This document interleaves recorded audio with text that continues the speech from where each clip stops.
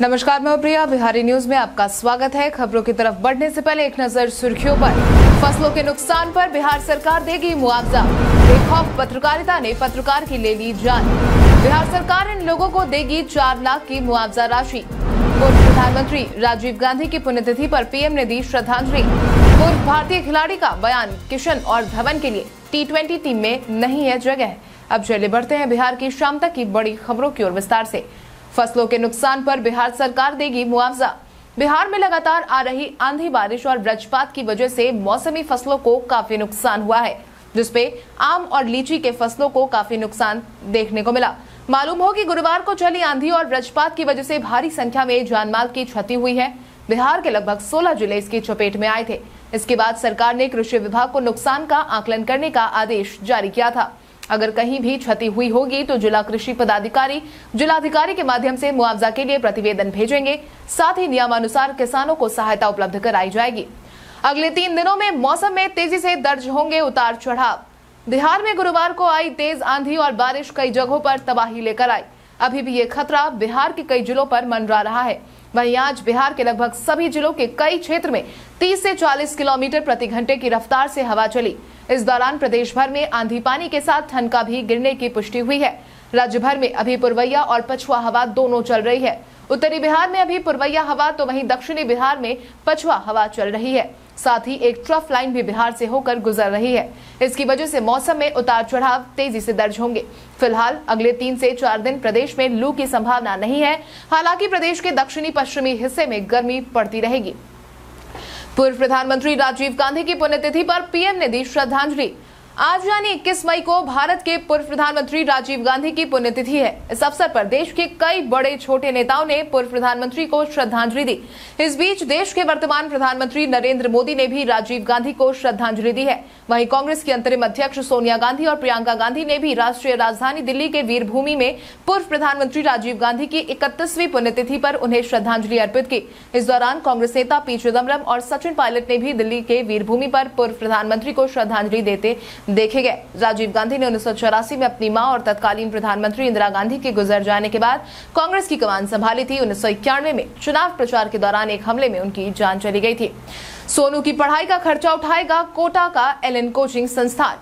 अपनी आगे की पढ़ाई के लिए मुख्यमंत्री नीतीश कुमार से गुहार लगाने वाले नालंदा का सोनू रातों रात वायरल हो गया, जिसके बाद बिहार सरकार के साथ साथ अब देश भर की हस्तियाँ सोनू की मदद के लिए आगे आ रही हैं। वो चाहे फ़िल्म अभिनेता सोनू सूद हो या फिर अभिनेत्री गौहर खान। इस बीच नालंदा बॉय के नाम से मशहूर सोनू की मदद के लिए कोटा स्थित कोचिंग संस्थान एलएन करियर इंस्टीट्यूट ने भी आगे हाथ बढ़ाया है। एलएन संस्थान के निदेशक ब्रजेश महेश्वरी ने सोशल मीडिया पर एक अपीलिंग वीडियो जारी करते हुए अपनी बात स्पष्ट की है। उन्होंने कहा कि वो सोनू की पढ़ाई का खर्चा उठाएँगे। साथ ही उन्होंने ये अपील भी जारी की है की ये जानकारी सोशल मीडिया के ज़रिए दी जाए की सोनू तक ये पहुँच जाए। बेखौफ पत्रकारिता ने पत्रकार की ले ली जान। बीते दिन बेखौफ अपराधियों ने बेगूसराय के एक पत्रकार की गोली मारकर जान ले ली। मृतक के परिजनों का कहना है कि सुभाष की जान चुनावी रंजिश में गई है।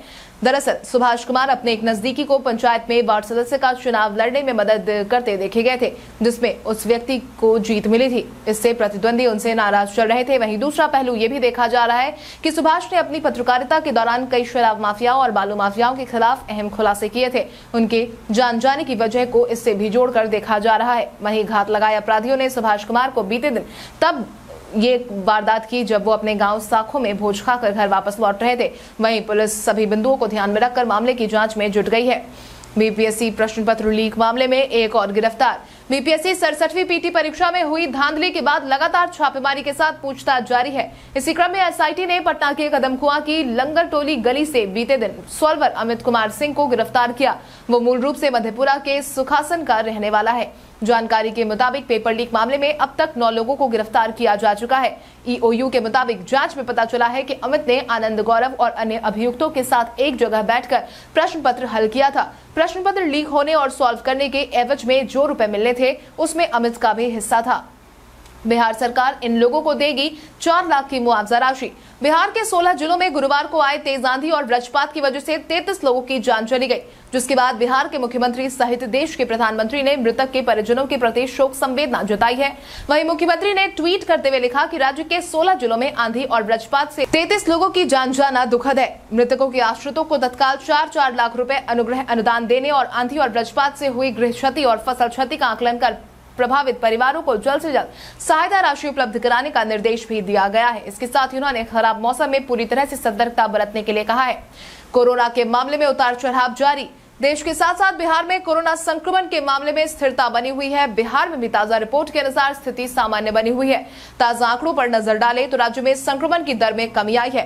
राज्य में कोरोना एक्टिव केस की संख्या बीते दिन के पिछले 24 घंटे के आंकड़ों के अनुसार इकतालीस है। वहीं राज्य में कुल तिरानवे सैंपल की जाँच की गई है, जिसके बाद राज्य में बहस आठ नए कोरोना के मामले सामने आए हैं, जिसमें राजधानी पटना में छह मामलों की पुष्टि हुई है। वहीं एक कोरोना संक्रमित वैशाली के है। वहीं देश भर की बात करें तो आज यानी कि गुरुवार को जारी किए गए पिछले 24 घंटे के आंकड़ों के मुताबिक कोरोना के तेईस मामले सामने आए हैं। बिहार पुलिस मेंस एसोसिएशन के अध्यक्ष को पद से किया गया बर्खास्त। बिहार सरकार लगातार भ्रष्ट अधिकारियों पर शिकंजा कसने के लिए छापेमारी कर रही है, जो कि अवैध तरीके से आय प्राप्त करते हैं। इसी कड़ी में आय से अधिक संपत्ति के मामले में बिहार पुलिस मेंस एसोसिएशन के अध्यक्ष नरेंद्र कुमार धीरज उर्फ़ धीरज यादव को सेवा से बर्खास्त कर दिया गया है। आर्थिक अपराध अनुसंधान इकाई यानी कि ईओयू ने धीरज के कई ठिकानों पर छापेमारी की थी, जिसमें उनसे जुड़े आय से अधिक संपत्ति के मामले उजागर हुए थे। नरेंद्र कुमार धीरज पर भ्रष्टाचार के ज़रिए अपने और अपने परिवार, रिश्तेदार के लोगों के नाम पर करोड़ों रुपए की संपत्ति जुटाने का भी आरोप लगा है। रेलवे में नौकरी के बदले लालू परिवार ने लिए थे ज़मीन। बीते दिन राजद सुप्रीमो लालू प्रसाद यादव के कई ठिकानों पर सीबीआई ने छापेमारी की। मालूम हो कि यह छापा लालू प्रसाद यादव के रेल मंत्री रहते रेलवे में बिना परीक्षा दिए कई लोगों की भर्ती का मामला था। इस सिलसिले में सीबीआई ने लालू प्रसाद यादव के कई ठिकानों को खंगाला।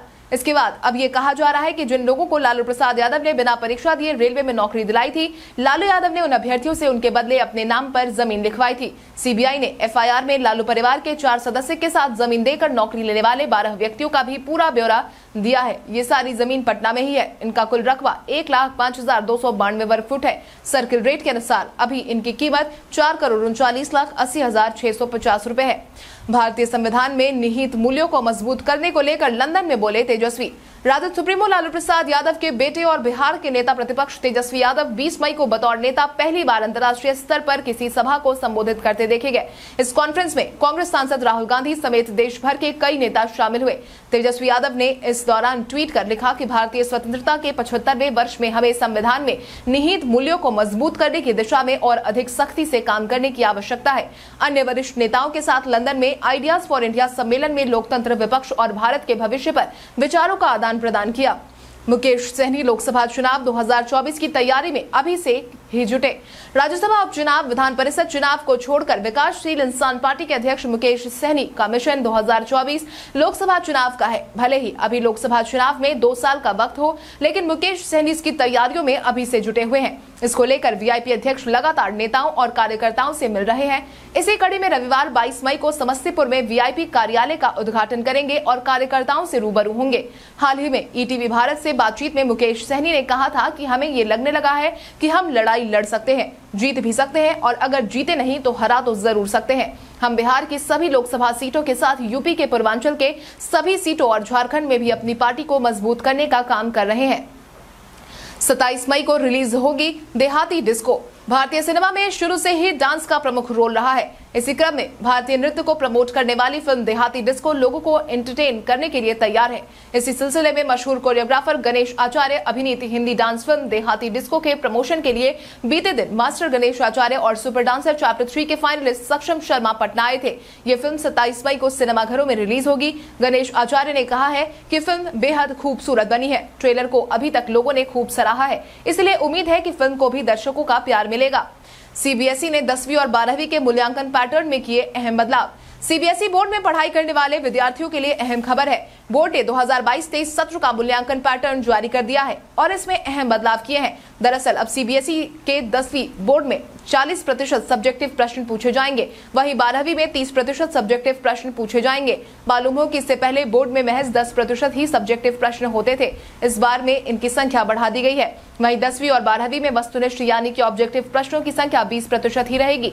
ज्ञात हो कि कोरोना संक्रमण के कारण दसवीं और बारहवीं बोर्ड परीक्षा दो पार्ट में टर्म वन और टर्म टू में ली गई थी लेकिन 2023 में फिर एक ही बोर्ड की परीक्षा ली जाएगी। पूर्व भारतीय खिलाड़ी का बयान किशन और धवन के लिए टी टीम में नहीं है जगह। भारतीय क्रिकेट टीम के पूर्व बल्लेबाज आकाश चोपड़ा ने भारत की टी टीम को लेकर बड़ी प्रतिक्रिया दी है। अपने यूट्यूब चैनल पर बातचीत के दौरान आकाश चोपड़ा ने कहा कि धवन और ईशान किशन के लिए भारत की टी टीम में जगह ही नहीं है। उन्होंने कहा कि ईशान किशन और शिखर धवन के लिए टी टीम में कोई जगह नहीं है। के राहुल और रोहित शर्मा पारी की शुरुआत करेंगे। आपके पास तीसरे नंबर पर विराट कोहली है और उसके बाद सूर्य कुमार यादव का नंबर आता है। हार्दिक पांड्या ने वापसी कर ली है और मैं उन्हें टीम में जगह दूँगा। इसके अलावा ऋषभ पंत भी है। राहुल त्रिपाठी को पाँचवें नंबर के लिए सिलेक्ट किया जा सकता है। कल हमारे द्वारा पूछे गए सवाल का जवाब आप में से बहुत सारे यूज़र ने हमें कमेंट करके दिया था। उसके लिए आपका बहुत बहुत धन्यवाद। आप में से जिन यूज़र ने हमारे सवालों का सही जवाब दिया है, उनके नाम है मृत्युंजय कुमार कुश कुमार यादव, अखिलेश नाथ मलिक, शंकर मुखिया, रिद्धि कुमारी, उपेंद्र कुमार, लक्ष्मण बैठा, कविता कुमारी, रंजीत मिश्रा, बाबूलाल मरांडी, के के सिन्हा। आप इसी तरह हमारे सवालों का जवाब देते रहे। हर दिन वीडियो के अंत में आपका नाम लेने की पूरी कोशिश करेंगे।